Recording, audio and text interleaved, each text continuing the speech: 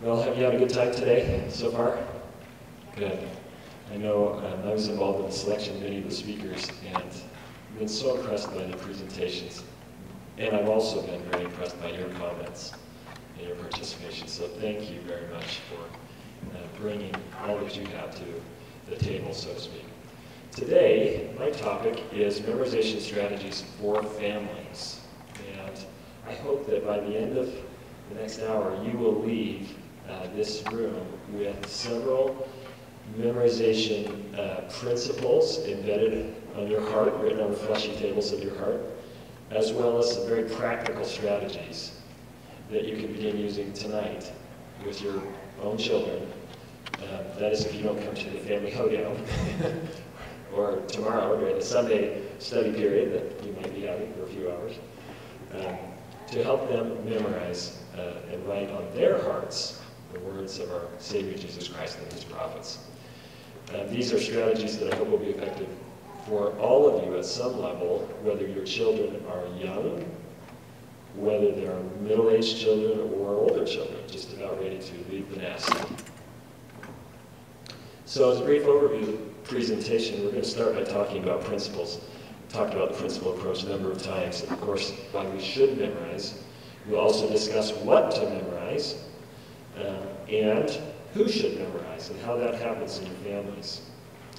Um, then we'll look at some strategies, some ideas for you that, again, will be very practical. If you uh, would like to uh, to download a copy of this presentation afterward, that's fine too. These slides will be posted for your use, so don't worry too much about taking copious, frantic notes about what's on every slide. Okay, these will be available for you. And I believe those will be available for free, and if they're not, you just write me an email and I'll send them to you. You can find my email on the website of the school. So some of the strategies, uh, we'll talk about passage selection. There are some strategies for choosing passages that will be more effective in your family memorization efforts than others.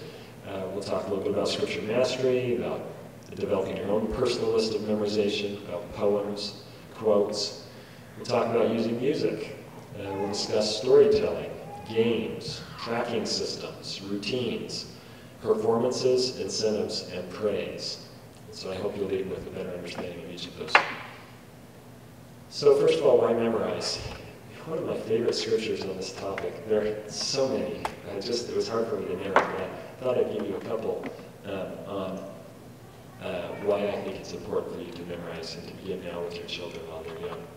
And Covenants, section one. The whole chapter is a preface to the Doctrine and Covenants, the collection of revelations that uh, is a foundational canonical work of Scripture in our church, in the Church of Jesus Christ of Latter-day Saints. And after many of these revelations have been written, the Lord revealed to Joseph Smith um, that they should be bound and collected, and, and, he gives them a very interesting rationale for why that is in Doctrine and Covenants, section 1, which is not the first revelation, but is one that was kind of the um, cover revelation to explain the others. So I'm going to read some of these to you, just some of this reasoning. You hear the voice of the Lord Jesus Christ very tenderly. You also hear his reasoning. Um, and so listen to this carefully as I read it to you. I'm not going to read the whole section, just a few verses. Starting in verse um, 17, he says, Wherefore, I, am the Lord, knowing the calamity that should come upon the inhabitants of the earth, called upon my servant Joseph Smith, Jr., and spake unto him from heaven, and gave him commandments, and also gave commandments to others, that they should proclaim these things unto the world. And all this, that it might be fulfilled, which was written by the prophets. The weak things of the world shall come forth and break down the mighty and strong ones, that man should not counsel in his fellow arm, or fellow man, neither trust in the arm of flesh, but that every man might speak in the name of the Lord, even the Savior of the world. We'll go on in just a, a moment. In the scriptures, you'll often see the word that. And that means so that. It often means that in the Scripture. Not in every case, but usually it means so that. Um, so let me reread that. He called Joseph Smith and others. Why? So that they should proclaim these things unto the world, so that it might be fulfilled, which was written by the prophets, the weak things of the world would uh, come forth and break down the mighty and strong ones. That man should, so that man should not counsel in his fellow man, neither trust in the name of flesh, but so that every man might speak in the name of the Lord, in the name of God, the Lord, even the Savior of the world. That's why he gave us the Doctrine and Covenants, so that every man, woman, and child could speak in the name of the Lord. He wants us to speak in his name. He wants us to uh, become Ephesians 4.13, till we all come in the unity of the faith. That's why he gave us apostles, prophets, pastors, teachers, evangelists. Right? Till we all come in the unity of the faith and the knowledge of the Son of God unto a perfect man, unto the measure of the stature of the fullness of Christ. That's why he gave us prophets. That's why he gives us their words, so we can be perfected. Um, continuing Doctrine and Covenants 1, so that faith might increase in the earth, so that my everlasting covenant might be established, so that the fullness of my gospel might be proclaimed by the weak and simple unto the ends of the world and before kings and rulers. But I am God and have spoken it. These commandments are me and were given unto my servants in their weakness, after the manner of their understanding, so that they might come into understanding. Of course, I'm replacing that with so that's there. And inasmuch as they erred, it might be made known. And inasmuch as they sought wisdom, they might be instructed. Inasmuch usually means to the degree that. To the degree that they erred, it might be made known. To the degree that they sought wisdom, they might be instructed.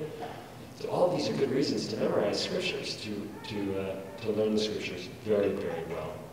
And of course, Doctrine and Covenants 88, 1, it, section 88, verse 188, the Lord says uh, that we should treasure up in our hearts the scriptures, so that ye may be prepared in all things when I send you again to testify and warn the people. Um, how many of you want your children to go on missions, especially now that the ages are lower? I know you do, and they will be more prepared as missionaries, clearly, if they have um, stored up in their minds and laid up treasures in their minds of the scriptures. Of course, those are some key key principles. You know, there are some risks too uh, Elder Neal A. Maxwell said, um, our being saved by gaining knowledge obviously refers to a particular form of knowledge, a knowledge of God and knowledge of the things of God. Some, there's a danger that just learning a few scriptures, you'll remember this idea of the prophets, can sometimes make you think you know a great deal when you don't. so just because your family can recite 10 or 15 scriptures doesn't mean necessarily that you have the knowledge of God. Right? You need to teach, and we'll talk about this, uh, the scriptures in a way that sinks deeply into their hearts and changes them.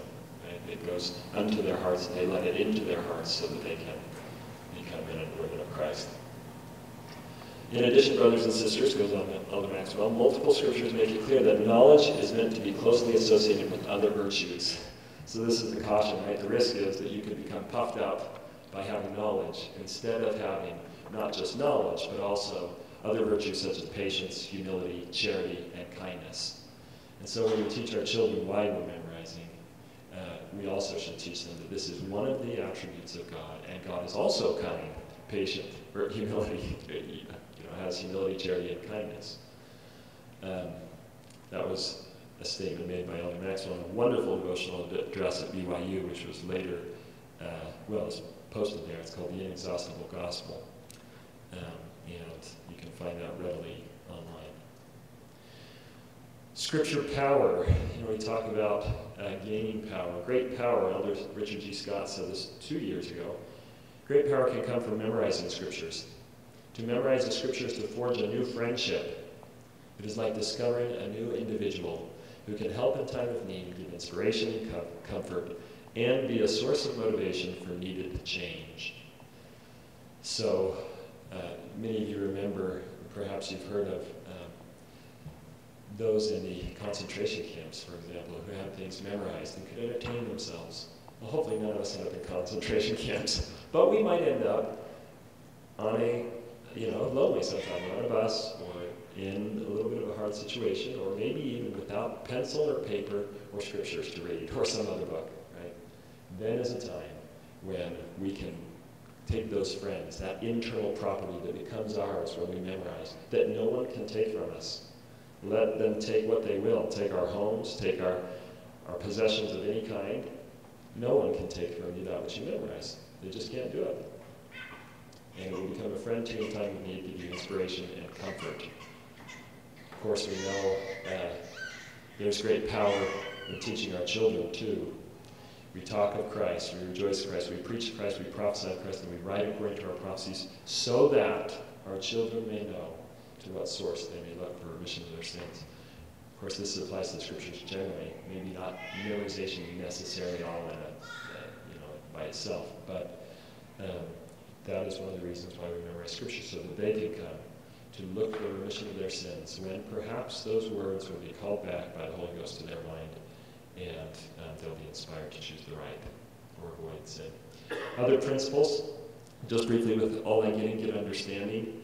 Again, uh, this is Proverbs 4 7. We'll talk a little bit about that, about getting understanding. Uh, and some of the strategies that we'll discuss lead to that. Then research, reasoning, relating strategies, all those that we listed. The art of memory is the art of understanding. If you understand something truly, you're far more likely to remember it than if you're memorizing gibberish. Right? So it's important that we understand. Seek not to declare my word, but first seek to obtain my word, and then shall your tongue be loosed. So um, you know, Hyrum Smith was told to obtain the word, and then his tongue would be loosed. And from my own personal experience, not claiming to be a master scriptorian or to have memorized all that I hope to memorize, but in my life, certainly no.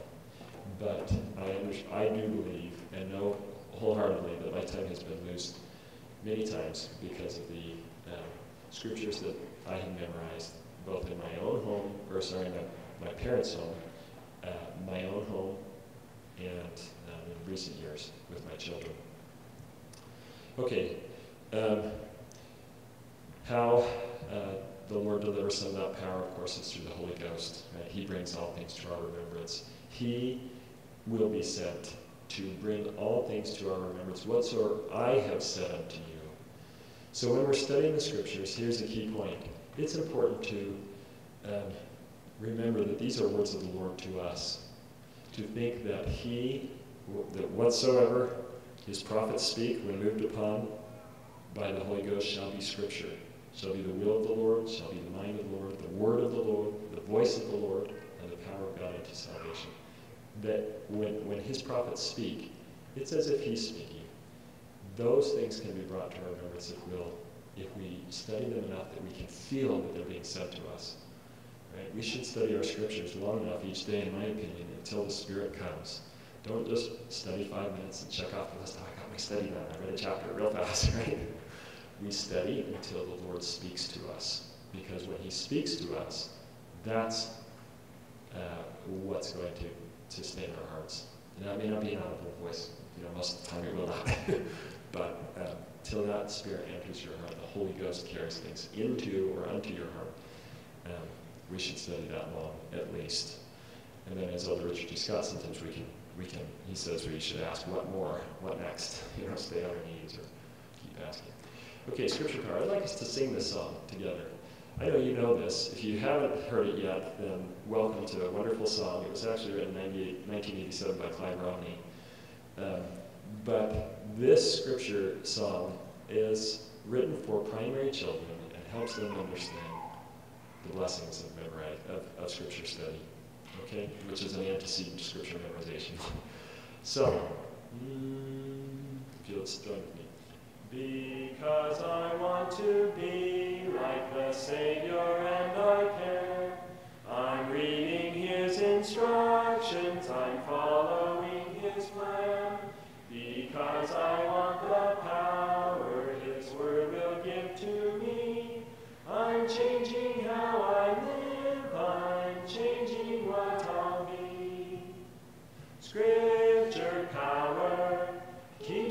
from sin. Scripture power is the power to win.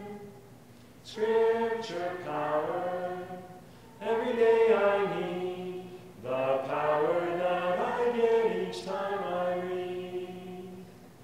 I'll find the sword of truth in each scripture that I learn. I'll take the shield of faith that I turn, wear each vital part of the armor of the Lord, and fight my daily battles and win our great reward. Scripture power keeps me safe from sin. Scripture power is the power to win. Scripture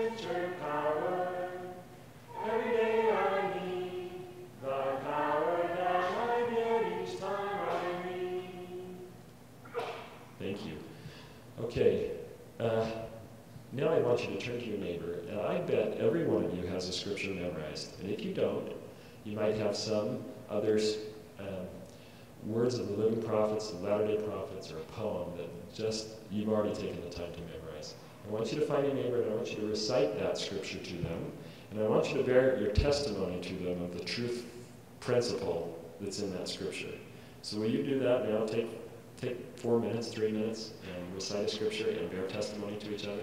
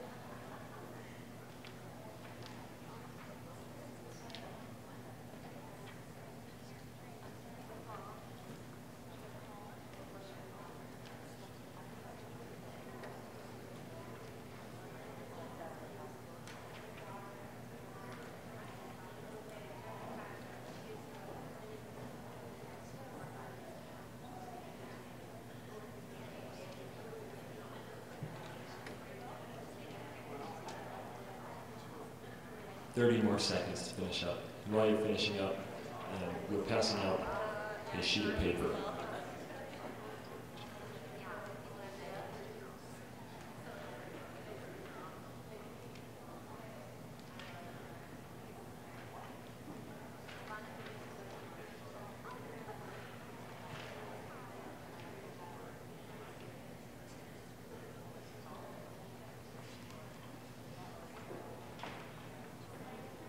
Okay, is there anyone who, um, well, actually, let me just say this. Uh, bearing testimony to your children, what did you just learn um, from this exercise? Did you learn anything? Yes. Yes. Bearing testimony brings the Spirit so that they want to. Who should bear testimony in a family? Everybody. How often? Often. Every day. Right? We should bear testimony to our children. That is a powerful way to help the words sink from our minds down to our hearts. And at this school, this conference, we're all about educating hearts and minds. Hearts are the high road to the mind. And uh, testifying is one of those great ways. Um, what did you learn from the music that we sang?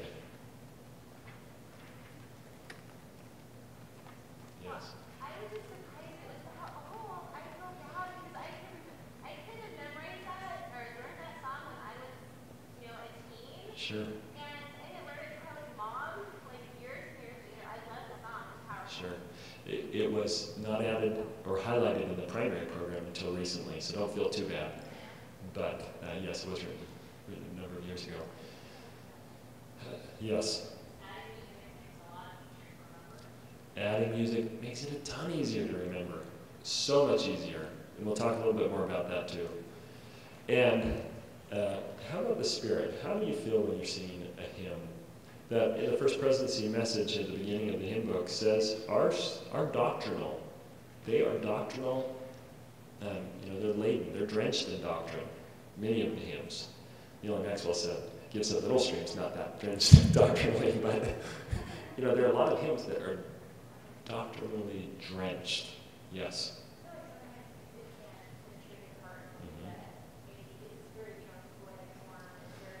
Sure. Yeah. That's right. It's imagery, it's poetic, it can connect you in a way that sometimes regular words do not. And J. Reuben Clark did say that a man could grow near to the Lord, he thinks, through through music than perhaps any other thing than through prayer.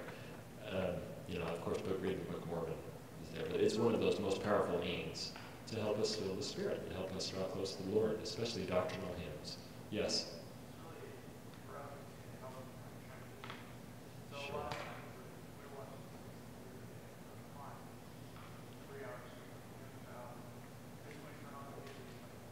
Yes.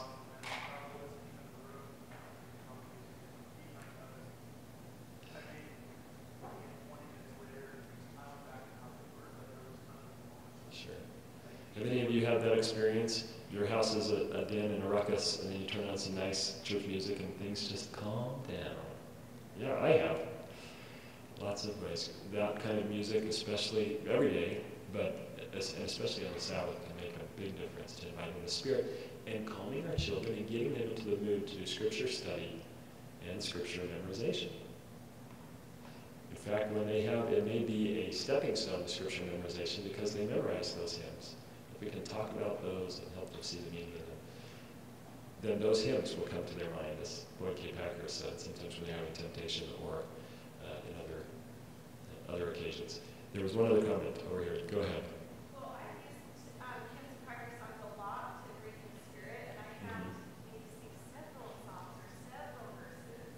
Sure.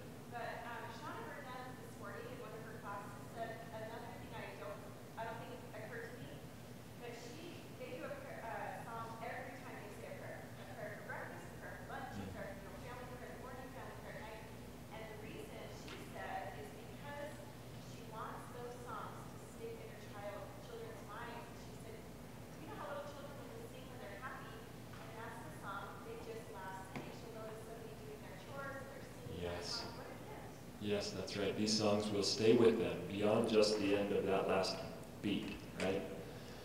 And they'll be singing their favorite tune, right, as they go about their work. Wonderful insight, Sean. Thank you for sharing that with us. Um, so she's over here, Sean Burdon. So, um, all right. Scripture, uh, power. Of course, there are some scriptures that we should memorize. The brethren have encouraged and challenged all seminary age youth to memorize the 100 scripture mastery scriptures. Most of us attended seminary know what those are. Again, they're very easily accessible online. And um, I would encourage you also to create a favorite list, a list of favorite quotes, your own personal list. Recently, there's a story, Mr.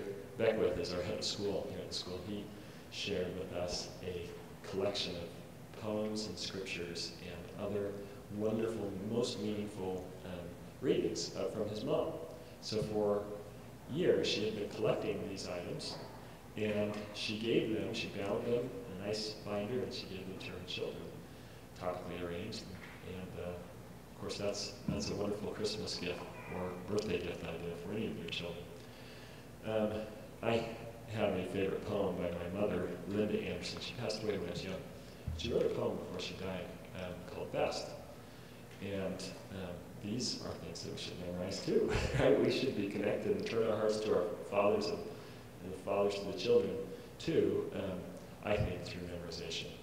Here's what her poem says. Uh, While I invest my time in good, best waits round along with should. Should grows larger with neglect. Still best maintains status select. Bad and worst, they never touch. For I am much too careful, much, to let those evil imps rob me of blessings in eternity. When judgment calls for an account, and I the witness chair mount, at my defense good will rise. yet best and should will tell no lies. The sentence fair can only be, a good reward assigned to me, yet glories I will never know will be assigned to justly go to an investor in the best, who would not be content with less. So that was written long before Dallin H. Oaks's talk on good, better, best, but it has that same idea, right? That inspired her to always choose the best, not just the good, but to go for the best. I'm sure every one of you can come up with some inspiring personal scripture. That scripture we read earlier said, We write. It didn't just say the prophets write. We write so that our children may know to what source they may look for the remission of their sins. So I encourage you to write personal family mission statements, personal family mottos, uh, poems, and say those things, even if they're just a, a one liner, like Andersons are on time, or, you know, those things will come back to them years later. Andersons are kind, right? Uh, I teach a family science course here on campus, and I asked the students to go interview the parents and ask what their family motto was. And one student said, um, Sydney Young, she said, she interviewed her mom. Her mom said, uh, be patient with every, let's see, be nice to everyone and patient with mean people. It's a pretty good thought, right? be nice to everyone, patient with mean people. That's personal family advice that gets repeated often enough that the children know it. And it comes back to them. Okay? Personal choices mean much. They mean a lot when the children are choosing what they too. And so in our scripture memorization, scripture study, I ask my children, we play some games I'll tell you about in a minute, but I say, you know, uh, I want you to mark at least one verse while we're reading this chapter today. And um, they do. At least the three oldest to know how to do that. They mark their, their scriptures, and then I say, so why did you mark that? Tell me what you marked and why. And those scriptures are far, far more likely to remain in their hearts, in their memories, even if they don't have them verbatim memorized, because they marked them, and because they've explained them. The person who does the talking does the learning. Uh, and so those, if I talk, talk, talk, talk, talk at my children, all scripture study, they won't remember as much. They may remember, and of course I, I think they're great places for lecture, right? Uh, but, um, but if they do the talking, that again is a form of, learning and testifying. So give them a choice. And again, we see that memorization doesn't necessarily always have to be verbatim memorization. It can be memorization that we're writing it on the fleshy tables of the heart uh, in a way that should come back to them later. Okay? Passage selection. Uh, this is another quote from Neal A. Maxwell, Jesus the Perfect Mentor. It start, this was originally BYU devotional and then was um, adapted for the Ensign in February 2001. He said, Each of us from time to time is mentored and has chances to mentor. In my experience, truthful and caring one liners that occur within such nurturing relationships have a long shelf life. One liners. Okay, we're going to talk about that in a minute. You can probably recount three or four examples of how people have said something, probably a sentence or clause, and you remember it still. It moves and touches you still. Such has been the case with me. Okay, we'll talk about those one liners uh, a little in a minute. Music. Um, 13 Articles of Faith. Often, uh, many of you probably have noticed, at least I think I've noticed, that more children know the 13 Articles of Faith now because they've been set to music than probably when you and I were very, very young. Um, make your recitations musical.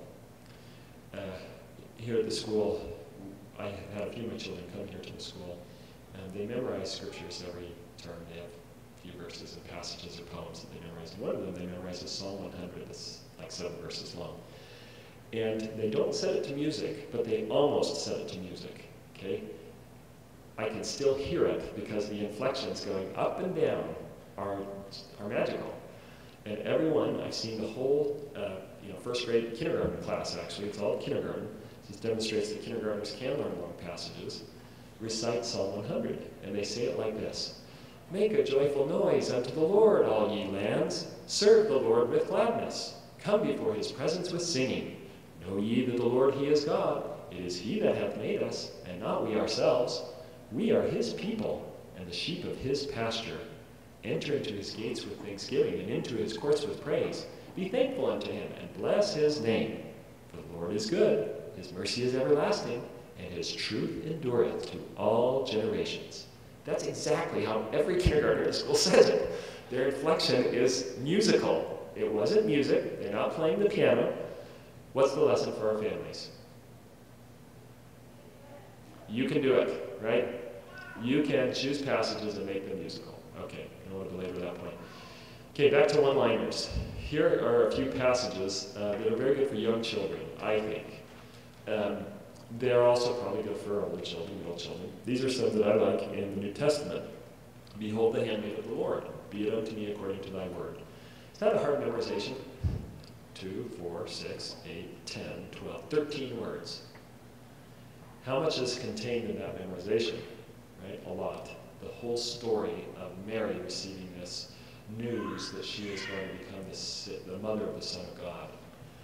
Um, Wist ye not that I must be about my Father's business? The Savior, right? In those few words, that's a one liner that will come back to your children and tell them, uh, you know, yeah, I should be about my Father's business, especially if they learn it in context of the story. Right? Uh, Follow me and I'll make you fishers of men. Again, nine words. Very powerful. I will follow the Lord. And you can discuss these. In fact, this reminds me of Elder Holland. Elder Holland is a master at this, right? He, he chooses one-liners from the scriptures, and other apostles do too. But for example, this last conference, he talked about, Lord, I believe, help thou mine unbelief. Right? That one-liner from the scriptures. And he told us a story in a way that we'd all remember it. And he helped us see the principle that we should always put our faith before our doubt, that we should always uh, focus on what we believe first and what we, we know, and we should trust in the belief of others. And we should pray to the Lord for greater faith.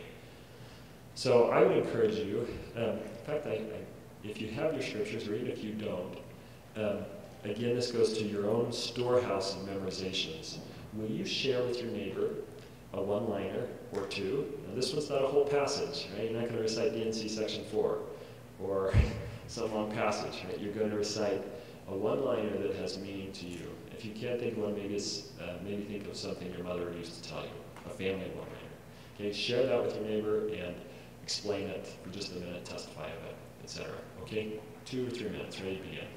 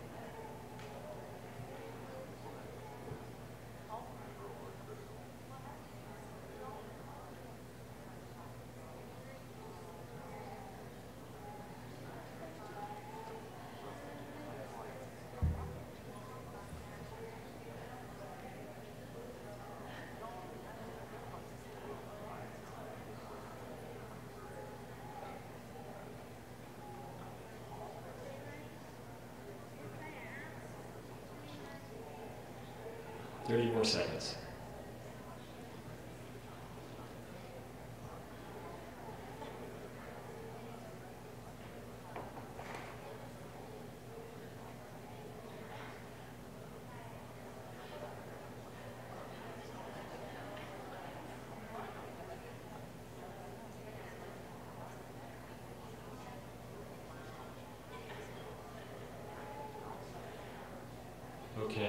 See there's a lot of good discussion going on. I hate to cut it off. Um, the point of this exercise is that it's pretty easy to go from a one-liner into a very rich conversation, right? And that the one-liners are like punchlines, okay? Punchlines to stories or jokes. I've given you all these scriptures that are on the overhead slide on the back of it, or on one of the sides of the page that we passed out. Those are some favorites from just the four Gospels Matthew, Mark, Luke, and John. There are hundreds of these. And, you know, it shows that by small, and simple things, right, can, can we start a great thing. Great things can be brought past great discussions. These are the punchlines that we memorize. At the top of that, I put another example from B. Brown. Many of you remember the story, I'm the master gardener here, and I know what I want you to be. Well, that's the punchline they need to memorize, right? The rest of the details they'll get. And you ought to tell the story about how he was in the army and how he wanted to move up the ranks and how, because he was LDS, or perhaps because he was LDS, he was not selected. And he was just so angry that he remembered, or upset, he remembered um, a conversation that he had had with a rose bush in his plant, in his garden, where he had cut down the rose bush and had said, as the rose bush to talk to him, why do you cut me down? I was growing so beautifully. and I'm not quoting it verbatim, right? I got the gist. And he said to them, uh, to the rose bush, I'm the master gardener here, and I know what I want you to be. If I let you grow the way you want to grow, you'll become all woody, right? There won't be currants. The currant, yeah, not rose bush, currant bush. There won't be currant berries. You'll become woody and filled with leaves and wood, and I want you to grow berries. So I got to cut, cut you. So I am the master gardener here, and I know what I want you to do. That's what you have your children memorize. Is that doable? Can you start with something small simple like that? They'll learn to love it if, if it's achievable. And um, you, know, you have them teach those, tell those stories too, right? Lord, I believe, help them in unbelief, but where are the nine? You talk about gratitude, you get this great conversation about how you talk to 10 people today and say thank you, thank you, thank you, wherever you go. Say that you're related to to uh, Way to Be by President Hinckley, where his very first B is be grateful and say thank you to anyone who does anything, even anything for you. Just say thank you to them. You testify of that principle, and they and then you quiz them. So what did the what did the Savior say? But where are the nine? Do you think He cares that we're grateful? Yeah. Will you be grateful? You say thank you in your prayers tonight. Yeah. Let's do a prayer right now. Let's say thank you. And and you say a prayer, you express nothing but gratitude. Elder Bednar talked about that. How one time as president of BYU, uh, General Authority visiting, um, I think it was the prophet, came down and said, oh no, Eyring, let's just pray. They had just had a death in their family that day. And he challenged the Sister Bednar to say a prayer and only express thanks. So they did, learned important lessons from that. About how it is uh, so important to say thank you. So okay, why don't you, I know you've done this, uh, let's, let's do 30 seconds more. Choose one of these on the board, talk about it for 60 seconds with your neighbor. Both of you talk. Any one of these. 30 seconds, talk, talk, talk.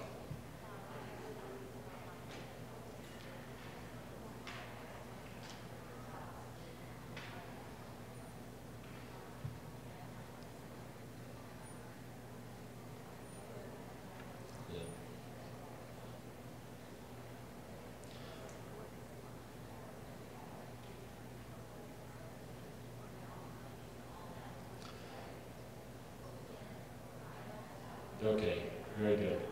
All right, so we talked about storytelling. We talked a little bit about Jeffrey R. Holland, about having children tell the stories, giving them opportunities. That leads into the topic of performances and teaching times, right? Having your children teach anytime you can during scripture study, family evening, car rides, vacation rides. Uh, I know the Olsons here, they even have a microphone in their car so they can turn it into a teaching time. And I've been trying to figure out how to do that. I'm going to get rich on that when I start selling them. You can all buy one for me. Just joking. Okay, uh, of course we all know stories have a long shelf life, and that's really key. So bedtime stories, here's a new idea, right? You got your one-liners, I just give you 20 or so. um, for the next 20 nights, there's no excuse for not having a bedtime story.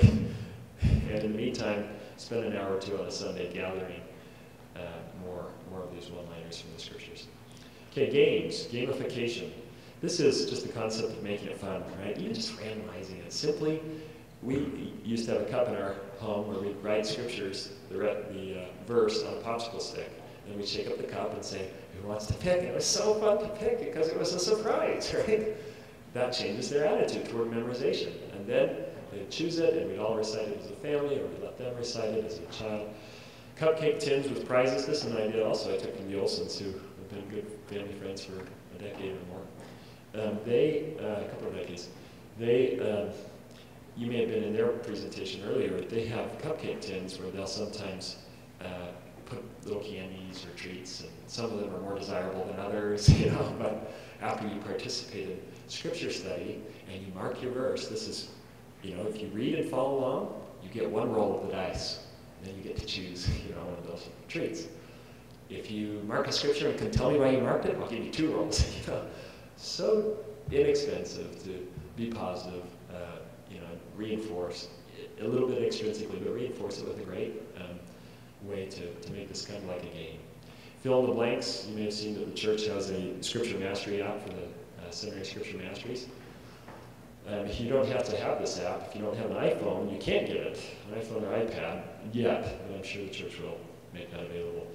Um, you know, you can fill in the blanks here. This is, I got 11 different versions of kind of letting you see 1 Nephi 3 7, and then they take out the words. Even that is fun for your children to say. And it came to pass that I, Nephi, said unto my father that I would go and do the things which the Lord hath commanded, right? Yeah, so that's a little gamification. Tracking. Here is a um, Suzuki style music tracker. This is uh, my daughter's viola tracking sheet for viola. Oh, I said that for viola. Looks a little bit like the rainbow. And she has to learn in book one all these songs, and there's a review trail. You can apply this to scripture study as a family, Book of Mormon trail. So this is ours a, few, a month or two ago. We had all these scriptures in the Scripture Mastery, the Book of Mormon, that we wanted to pass off. We have others that are not Scripture Mastery, that have been our favorite one-liners or favorite uh, poems. Uh, but uh, as we go down, we just color them in. That's gamification at some level. It's also um, very helpful to have that posted. It's helpful to review to make sure that you really master the first few uh, before you go on to too many. Some people find that helpful anyway. We as a family have found it helpful. Daily routines, right? Have a daily family review, five to seven minutes. My parents did this faithfully, and it's why I am so grateful. It's one of the most important things I'm grateful for. My parents, they're wonderful, wonderful. They taught me to love scriptures and scripture memorization through five to seven minutes in connection with our scripture study, which usually lasted about 15 to 20 minutes. And each day, usually at 6.30 in the morning when we were bleary-eyed, we'd sing a song that would help us kind of wake up and help us have the spirit not fight and those types of things. And then we would go into recitation. We'd review three to four verses a day. And we would just recite them as a family, three to four times each. That will pay off. I know it seems uh, sometimes hard to do that because our children are, are restless or maybe they're not old enough, but even the young ones are learning. Um, and I'm grateful to see now some of the same fruits in my children, that they will hear our scripture being said in general conference and they start mouthing it along because they know that one. We've recited it, so they can say it too. So again, by small and simple things, just start with a few minutes a day, five to seven minutes, where you start reciting a few scriptures a few times. Start with the scripture mastery. Makes a big difference. Daily personal review. I remember a friend, Christopher and Tammy Bauer. They would recite scriptures as they'd go running together, or as she would do laundry, she would have her scripture memorization cards, and she would just try to use those extra minutes. And it was her daily personal routine. Anytime I'm uh, out and about, some I even post them in my car. She posted in her car, and uh, you know, if she's waiting. I don't necessarily, I'm not saying distracted driving. Don't do while you're driving. you know, if you're waiting in the car to pick up your children at, at the friend's home or at you know some place that they've gone to visit, then um, use that moment.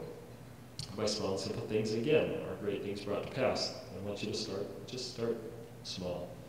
Routines. Uh, Richard G. Scott said this at the last General Conference be wise in how you embrace technology. Mark important scriptures on your device and refer to them frequently. If you young people would review a verse of scripture as often as some of you send text messages, you could soon have hundreds of passages memorized. Those passages would prove to be a powerful source of inspiration and guidance by the Holy Ghost in times of need. Hundreds. That's my goal for my children. I want them to have hundreds of scriptures memorized. I want them to know most of the hymns, perhaps all, most of the primary songs, perhaps all. I want them to have those floating in their minds wherever they go and ready at the tip of their tongue to bear testimony and explain, give every man a reason for the hope that is in them. Um, that was just again last April. Performances. We have our children stand on the hearth. They love that. you know, they'll stand up and we say, use your orator's voice.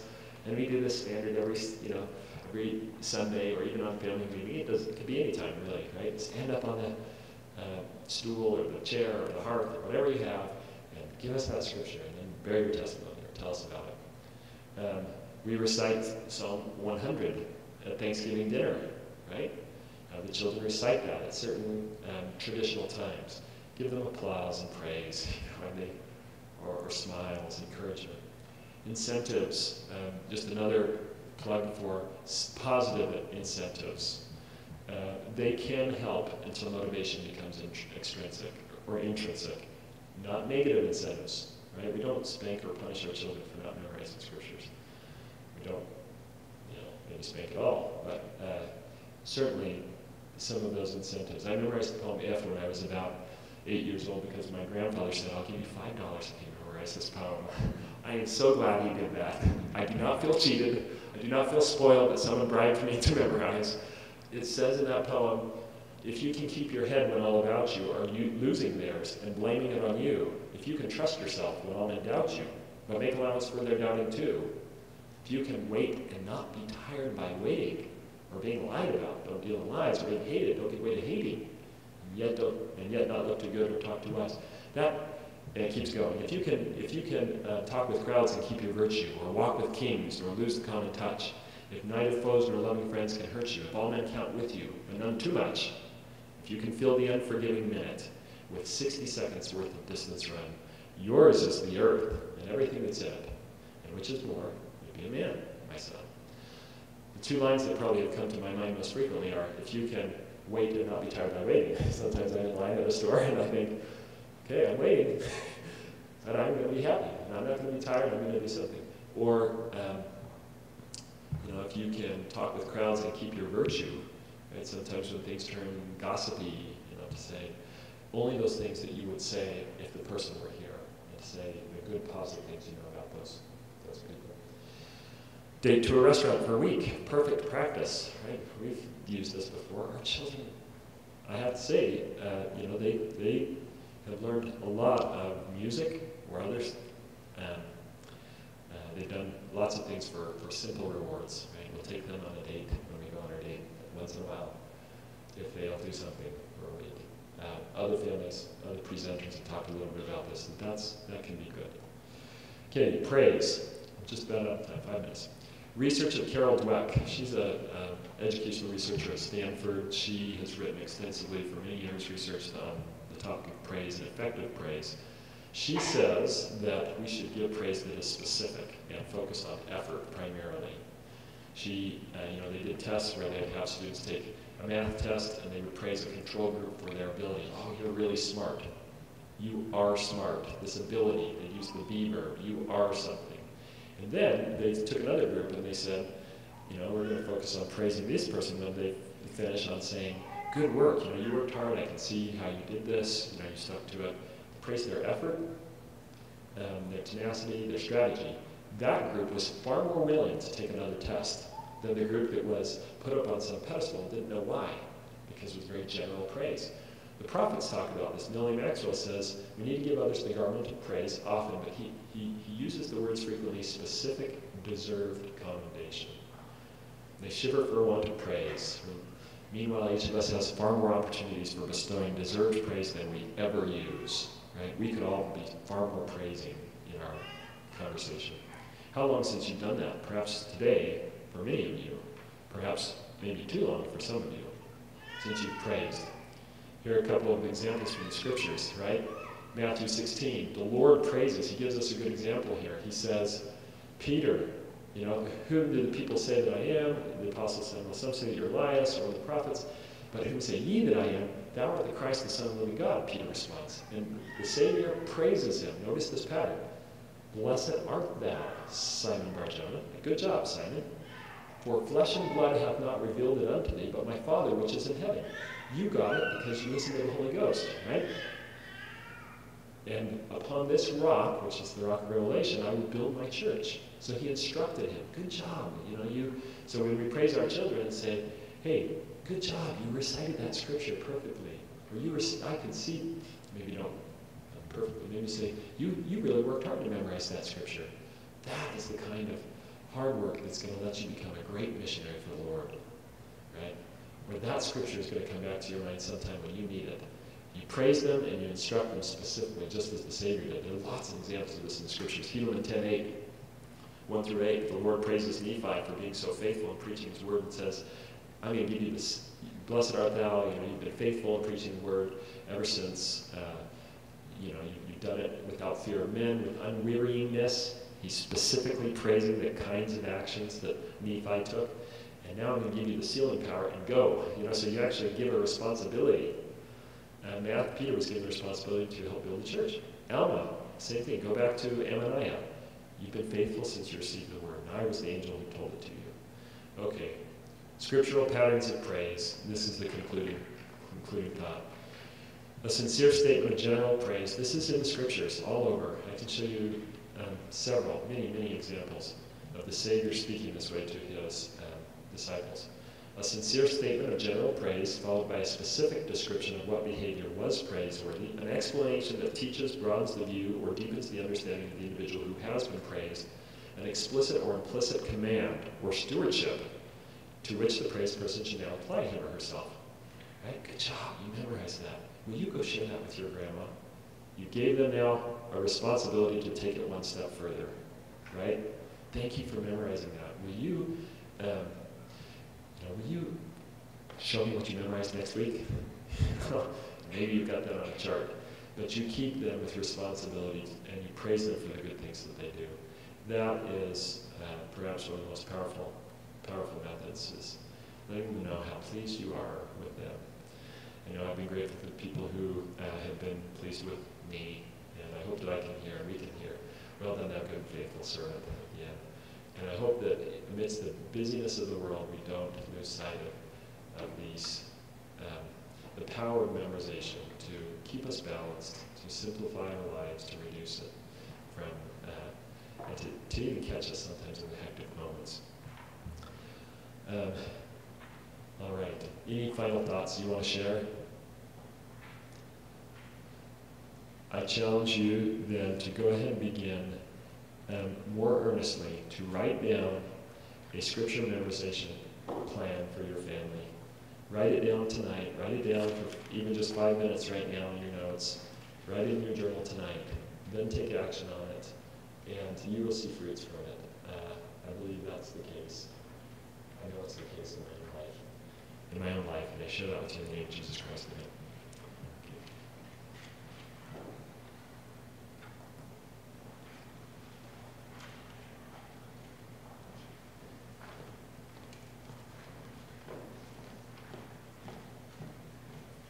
Thank you so much for your participation. One more thing, sorry, I'm going to hold your breath just a little bit. I just wanted to show you. This was something I made when I was about 16, some of my favorite quotes. It's not um, complete, it's an old one that I found, but you can start your children, task them with collecting their favorite quotes. Do it now from Spencer W. Kimball. I had quotes I put up on my rooms. Put those up on rooms. Live your life so that those who know you but don't know him will want to know him because they know you. Poems, telling yourself by the friends you seek. These types of things will help. Have them, you create your own, have them create their own. Um, poems, here the scripture, this is the list of scripture memorization my family, when I was growing up, had. About uh, 200 plus scriptures there. And anyway. Uh, these, uh, some of them will, yeah.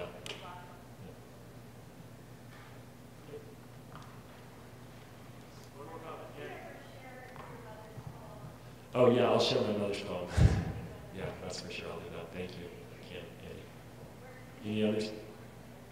That poem, uh, it's just family poem, just ask me. I'll, I'll post it with the other slides. Oh, you'll get it at the latterdaylearning.org website. We'll link to our CVent website, which is how you register.